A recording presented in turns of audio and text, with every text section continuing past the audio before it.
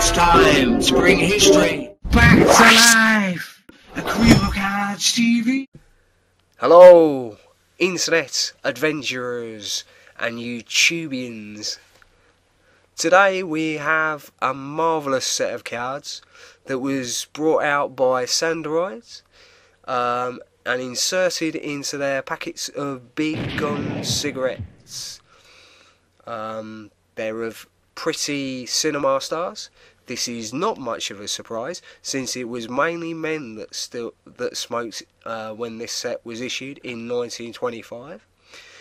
It was not until 1928 that Edward Bernays, who was known as the the father of propaganda, he managed to make smoking more acceptable amongst women by ingeniously transforming the humble cigarette into a symbol of female liberation from a memorable publicity stunt known as the Torches of Freedom campaign. Now, coming back to this card set, it's unusual in that the cards are very large, almost postcard size, and the illustrations include colour, believe it or not albeit sparingly in earthy tones. You see, most silent movie era cards are photographic, matching the presentation of the films themselves. This set includes an interesting mix of silent film stars, some of whom are still remembered by film buffs today, whilst many, although extremely popular in their time, have vanished into obscurity. But thanks to cards like these, they've been immortalised for eternity.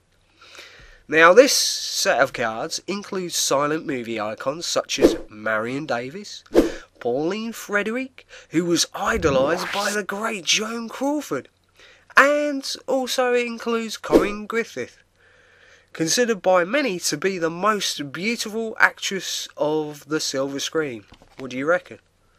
Um, Louise Lovely travelled all the way from Australia to start her movie career in the USA, and at her peak challenged even Mary Pickford's status as America's sweetheart, despite not even being American herself. But of course, that didn't matter because she starred in silent movies, so no one would hear her strong Australian accent. Here we have Mabel Normand, who appears on Nobleman on card number three, and her movie genre was mainly comedy, despite her personal life being shrouded by murder and violence. Now, Edna Purviance, is that how you pronounce it? I don't know. Pictured on card number 18, had the good fortune to appear in 30 films with Charlie Chaplin, although her romantic involvement with him um, might have influenced this somewhat.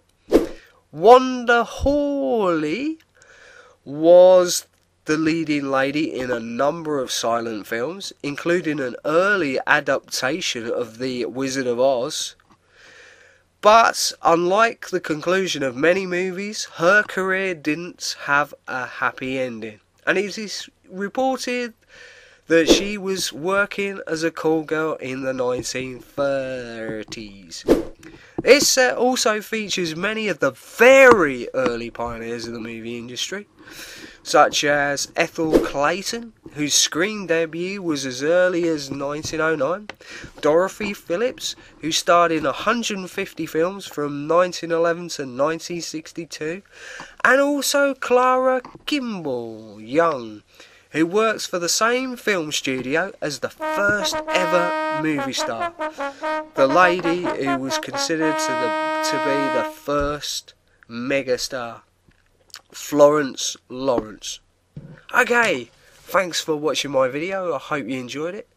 Um, see you later.